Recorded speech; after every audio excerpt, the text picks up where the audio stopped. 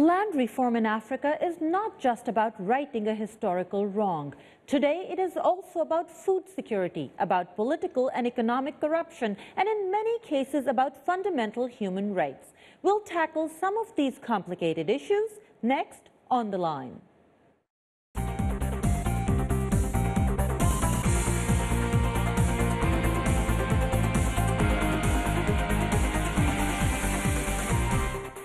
Is On the Line, and I'm Ayesha Tanzeem. Decades after the end of apartheid in South Africa, many are still waiting for the fruits of freedom, the promises of land reform to be fulfilled, while in Zimbabwe, a radical land redistribution is blamed for an increase in hunger and poverty. Controversial land grabs in other countries are possibly making the situation worse. Joining us in our Washington studios to talk about what should be done is George Ayittey, president of the Free Africa Foundation. In our New York studios, we have Ambassador John Campbell, former U.S. Ambassador to Nigeria, presently with the Council on Foreign Relations. And on Skype from Ottawa, Canada, we have Obang Metho, Executive Director of Solidarity Movement for New Ethiopia. I welcome you all to the show.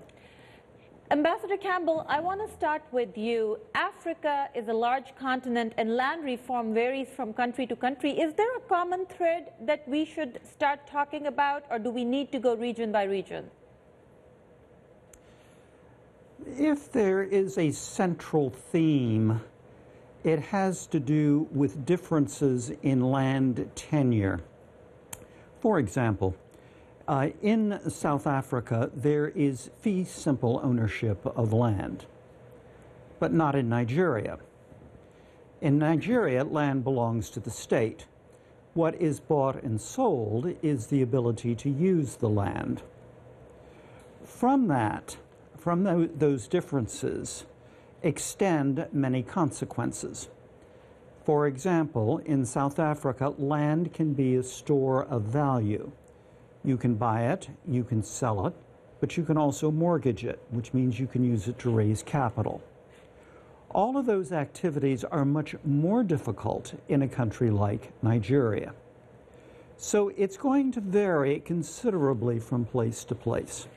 Okay, let me come to you, Mr. Metho. You gave a testimony to Congress, to the U.S. Congress recently, and you called land reforms, uh, I'm sorry, land grabs, life grabs. Can you explain what you meant? Thank you very much for giving this opportunity. I, I think that as uh, what I call why I say that land is what the African really depend on for generations. Uh, for instance, me, I was not raised by the salary from the office. I was raised from the money from the land. From was raised from the land. So when I grew up as a child, my family used the land for our survivals. So like the parents before me and the people before that. And I think this is happening in all over the place. So when I call it a life scraps, it's really taking the life and then destroying the life and taking the future of these people. Because what it is is these people, the powerful holders, like you know the the colleagues say before me, the policy some of the places the land is being owned by the governments. And then the, whatever the government say, then the people have no say. So anyone who have been living in that land for generations, the government will lease that land and the people will be displaced and then that will be the end of their life as we know it. So I call it life grab because it take away the life and the future of the people who have been depending on that for And years. you're taking away the future of the children as well. I want to come to you, Mr. Ayittey. What he mentions is land grabs. International investors are also blamed for that. But there's also lack of land reforms. I know these issues are connected, but what do you think is the bigger issue here? Well, I think um, uh, we have to make some kind of a distinction mm -hmm. uh, between land reform and also land grab. I think, you know, if you look at Zimbabwe and South Africa, there, you know, it's, it's right, it's proper to talk about uh, land reform because uh, uh, the, uh, um, a large percentage of the arable land is in the hands of whites. In South Africa, it's about 80 percent. in Zimbabwe, uh, the... And, and, and, just to remind our viewers, uh, while you take a sip of water, that this is June 2013. Uh, exactly 100 years ago, in June 1913, was the Land Act passed in South Precisely, Africa yeah. that led to about 85% of land being, uh, Yeah, being owned by whites. Yes. So, Okay, so there, you know, you, you need reform so that you can uh, sort of uh, redistribute land, you know, uh, some of it to the blacks who are there. Okay, so that's a separate issue. But in other parts of Africa, you have land grab. Land grab uh, because, now this is how it is coming about, you know. Uh, as the ambassador said, in Nigeria, in uh, Ethiopia, in Mozambique, in Angola, the government owns the land. And uh, the government in recent years have been able to, you know, sell vast tracts of land, um, something like six, uh, 60 million hectares, you know, without the consent of the people. In some cases, people have been driven off their land. So it's not really land reform per se. and you know. they're selling it to international um, Investors. investors, Yeah, I agree. other countries, or just big commercial investors? Big commercial investors, they come from all over the place. They come from Asia, they come from Middle East, they also, some of them come from the West. And just for clarity, are they selling it, selling it, or are they leasing No, it? No, they're leasing it, you know, but, you know, the rates of lease is so ridiculous. You know, you can lease uh, 200,000 acres of land, you know, uh, at the least rate in Cameroon, at the least rate of, say, $1 per, for 2.5 acres for, for 99 years. Which is nothing, which is nothing. We'll come back to this issue. Ambassador Campbell, uh, we talked about land reforms being a historical injustice, as uh, we were just talking about, especially in South Africa. 85% of the land owned by uh, the white farmers. But redistribution is not as simple as all that, right? We saw in Zimbabwe that a radical redistribution led to massive drop in GDP of the country, something upwards of 30%, almost close to 40%. So what are the big issues here? Well, the big issues are how do you reconcile historical injustice, the maintenance of the rule of law, and food security? South Africa has a land reform program. Uh, up until fairly recently, it was based on the principle of willing seller, willing buyer. That is to say, land reform was dependent on individuals having the ability to buy the land, and in most cases, that meant the borrowing the money from the government. This means the government faced the fundamental issue of does it use revenue for land reform or does it use it to build hospitals, schools, improve roads, and so forth? But it's also related to the issue of food security. Joe Slovo, who was a member of Nelson Mandela's first government, notoriously commented that he had no interest in destroying Africa's most developed commercial agricultural sector in order to create a class of African peasants. Okay, so Now let, that- me, let me bring Mr. Metho in here. Mr. Metho, I want to uh, ask you, how do you balance this equation? On one hand, you have, as Ambassador Campbell uh, was just saying, a really well-developed agriculture sector. On the other hand, you have these poor farmers who've been working that land for decades, for generations. They don't have the money to buy it. How do you balance that? Uh, I think that's a very good. Uh, that balance should be coming from the government. The government, in most of the case, I think, as uh, Dr. Ayittey said, they are leasing the land without consulting the people. Transparency, accountability is not there. And so the balance should be the government supposed to be the government for the people. And they should find a way to make sure that people are included. In most of these cases, usually I call this what's happening in Africa now is the second scramble for Africa. And in that case, what I'm saying is the decisions are being made, made by the elite. In most of the case, autocratic regime, which is not elected by the people, which is the concern of their people, is the last thing to think about. In that case, then it makes it very difficult for the people to speak up. In just a case like of my country, in Ethiopia, you know, where the countries, the media has been controlled. The people cannot speak. The indigenous people have been driven from their land with the promise that they will be giving a job.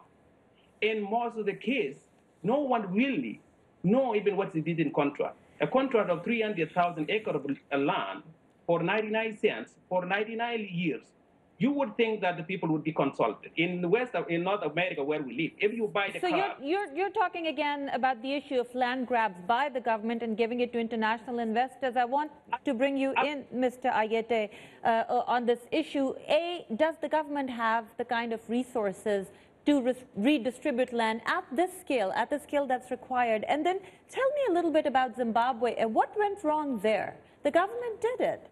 They well, did redistribute land. Well, you know, the thing is, uh, uh, the land reform program in Zimbabwe was badly, if I may use the term, screwed up. Badly screwed up because, um, you know, I mean, there's no question that there's land inequality in Zimbabwe. And as the ambassador said, you know, one way of, you know, redistributing their land, you know, uh, there were blacks there and the land uh, was forcibly taken away from them. One way of redistributing it is, you know, to use the uh, um, buyer willing, seller willing sort of principle. If there is a, you know, if there is a, a willing seller and there is a willing buyer, you know, maybe the government could lend, you know, the buyer some money so that you can, you know. But uh, in Zimbabwe, there were war veterans who claimed that uh, for their role in the liberation struggle, they were entitled to some land. And Mugabe was not, you know, giving them the land. And as a matter of fact, funds which were set up to compensate the veterans was looted. So the veterans got angry and they uh, forcibly invaded white commercial farmland and seized the land by force. This is what created the turmoil that you see in Zimbabwe. Okay, now we need to keep talking about this issue because it's very complicated, but it's time to take a short break. We'll be right back.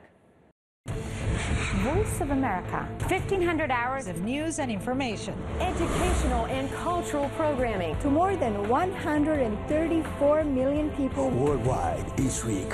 Listen to us on radio. Watch us on television. Follow us on Facebook or Twitter. And through your mobile device.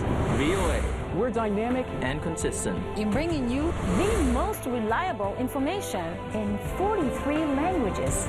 Tune in. Tune, Tune in.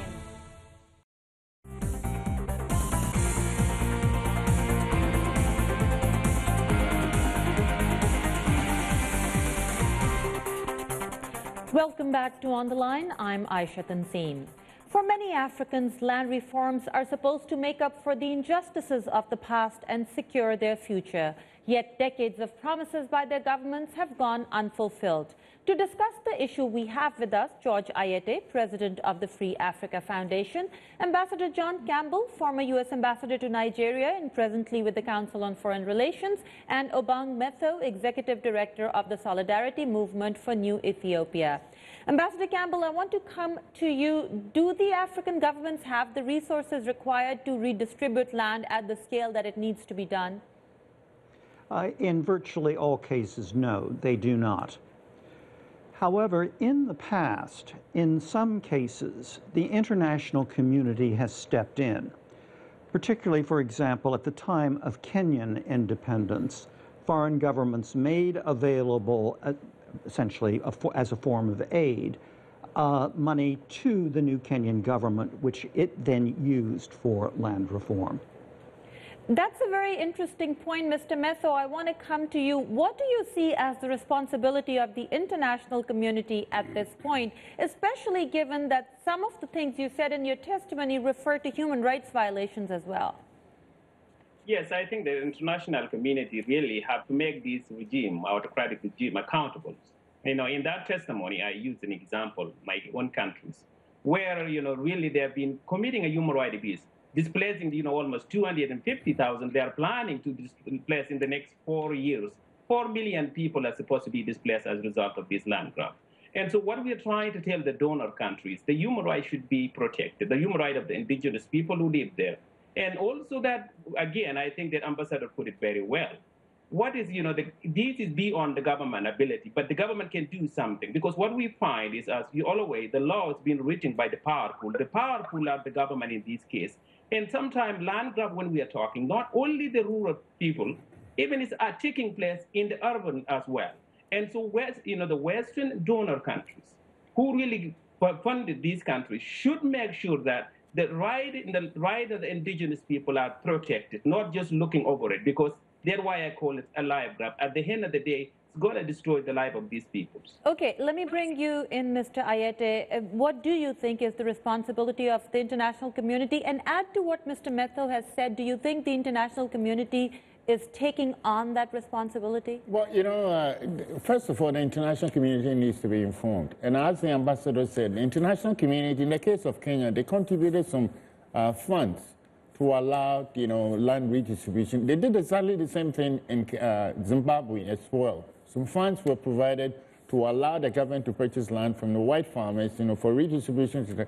But get this, you know, one thing which happened in Zimbabwe was that, you know, Robert Mugabe's regime, you know, bought the land and redistributed it to his cronies, not to the uh, peasants or people who deserve them. So there was no transparency in the program? There was no transparency in the program. And in the case of land grab also, the people's human rights are being violated. They are not uh, compensated. They are not allowed to make an input. In the case of Tanzania, for example, even the Maasai tribe, you know, they are, you know, they face extinction because they've been driven out of their land. You know, their livestock being uh, destroyed and their land being made available to wildlife tourists, you know, for uh, uh, rich tourists from the Middle East to come and shoot lions and wildlife. You know, there's something basically unfair about this. So you're saying this is happening because the international community is not informed, or is it a willing? Either they are not informed, or uh, they they uh, refuse. This is one of the reasons why programs like this are important, so that we can bring awareness to the uh, to the issue. Ambassador Campbell, is the international community not informed, or is it a willing culprit in this case? Well, when you talk about the international community, it depends who you're talking about. Uh, obviously, experts on land, excuse me, on land questions and on agriculture are indeed informed. But are governments informed? And further, in the list of priorities that any government has to face, where is land reform in a foreign country going to fall? I want to make a related point. Land reform is extremely expensive.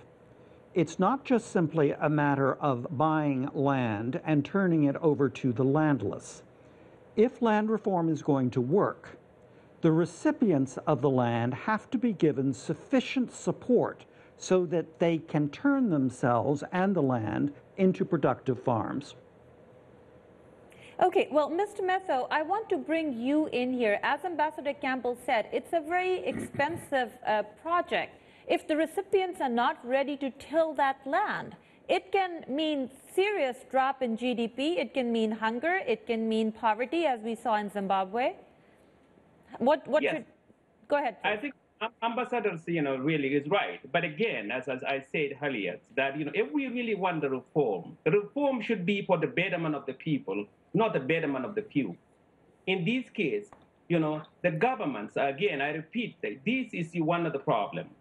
The land reform that we are talking about sometimes is being done by the government that which is not elected by the people, who doesn't even care about their own people. In that case, only those in the government, the crony government, elite the autocratic, they are the one that who can sell the land, can lease the land, and local people are not involved. So they're not really, uh, okay, le, uh, let me take that issue a little further. You're talking about um, governments that are not elected, but the African National Congress is an elected government, and they have not been able to fulfill their promise. Uh, Mr. Ayittey, what went wrong there? Well, you know, it's uh, they're trying, but you know, land reform, according to the President Zuma, is coming along, but slowly. Very slowly. Very... They were supposed to have 30% by 2014. Yes. We're now way into 2013, and we're what 8 percent, Yes, you know, it's so uh, that there's a problem there. You know, the South African government um, may claim that you know there are also other issues. It may not have sufficient money to accelerate the process, but uh, but uh, I should make a point that uh, that Obang was uh, making, and that is. And, and that is that, you know, the ambassador make the point that, you know, you can't redistribute land from one productive use to less productive use. Otherwise, it will affect your agricultural production. It is true, but you see, it's an argument which is being used to uh, block land reform uh, in Southern Africa. It can be, you know, it, it, it, can be a problem there, but it can be overcome. How do you overcome it? It can, be, it can be overcome in the sense that, okay, look, you don't necessarily have to lease, you know, take the land away from, let's say, a productive farm or white farmers and give it to the poor persons. You can say that, okay, look, there has been a historical injustice, okay? The land which the white farmers are using are not theirs, okay? So let them pay some rent on it and use the rent to compensate, you know, the poor black farmers. That is something which can be worked out. Okay, Mr. Metho, very quickly, because we're coming to the end of the program, if South Africa does not accelerate the pace of land reform, do you think it can have a Zimbabwe moment where people just take over the land? I depend on the government. That's for sure. You know, we cannot rule that out because really, human being, you can push people to the edge, but they will get to the point where people will take their uh, matter in their own hand. But in the case of the South Africa, because of the government there, I don't think that that will happen. And we are talking about all this, you know, South Africa. There's other places as well where the is the the people who control or who have the land is not the white people, it's African of African or a one particular tribe controlling. So in that case, what is needed is, is awareness, like which is something that really what you are doing in this show is an excellent. And we are also trying to do this in September to try to have, you know, in Washington D.C you know, Partnership African League and the Solidarity Movement. We are trying to so, engage a diaspora to let people be aware about this kind of thing and talk about. It. The more we talk about it, the better to making sure that it does, you know, what happened in Zimbabwe does not happen in other African countries. So, as I said in the beginning, a very complicated issue. There are lots of angles to it, and we will bring it up again, but I'm afraid that's all the time we have for today. I want to thank our guests, George Ayittey, President of the Free Africa Foundation, Ambassador John Campbell, former U.S. Ambassador to Nigeria, presently with the Council on Foreign Relations, and Mr. Obang Metho, Executive Director of the Solidarity Movement for New Ethiopia. And thank you for joining us. Please send us your questions or comments or watch our past shows on our website, voanews.com slash on the line. We look forward to hearing from you and hope you'll join us again next week for another episode of On the Line.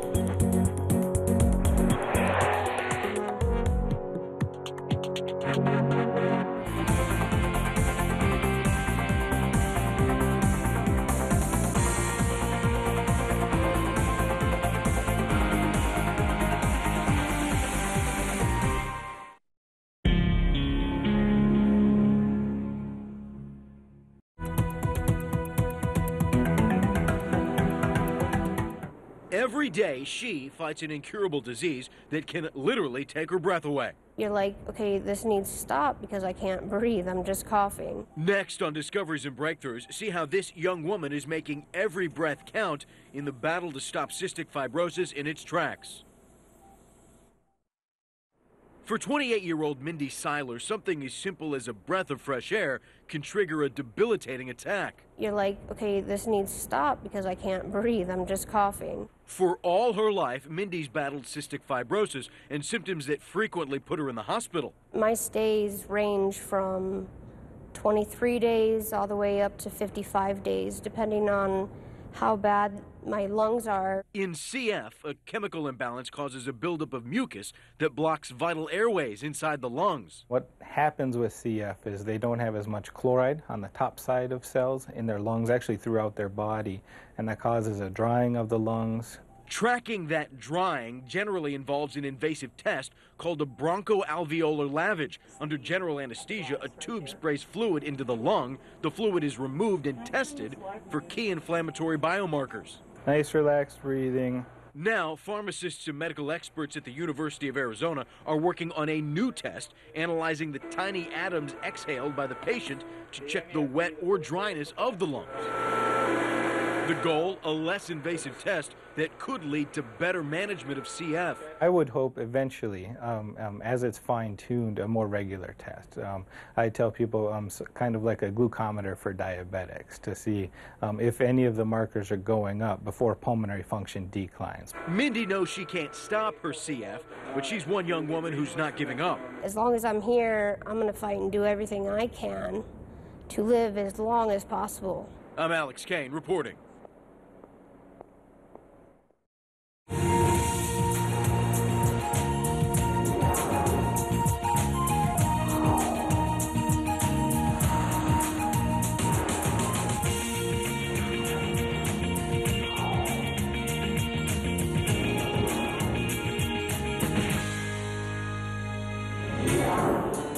The Parthenon in Athens is one of the best known landmarks in the world.